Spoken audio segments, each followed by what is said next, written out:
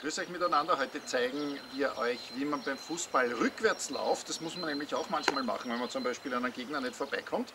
Nur das Blöde ist, wenn wir rückwärts laufen beim Fußball, schauen unsere Zehen trotzdem nach vorne. Ja?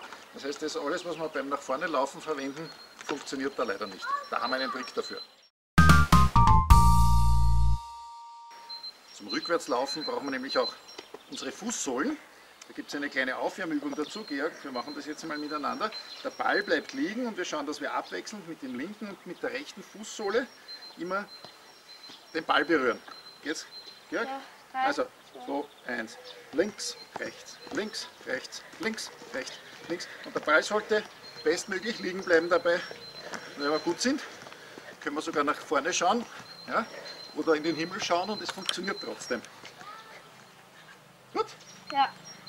Da gibt es etwas, was man dabei beachten muss und das zeige ich jetzt mal her. Das ist nämlich immer dann, wenn man mit dem einen Bein abspringt, muss man mit dem anderen Bein die Position wechseln. Ja, wir zeigen euch das wieder in der Zeitlupe her, dass ihr das genau seht.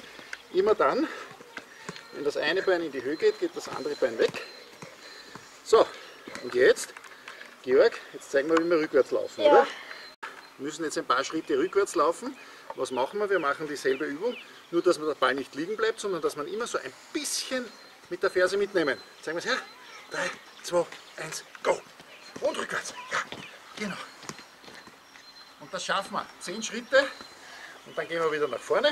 Also das ist ganz schön anstrengend, aber es ist wichtig, weil manchmal kann man beim Fußball vorne nicht mehr durch. Dann muss man ganz schnell wenden und rückwärts und mit dem Trick funktioniert das.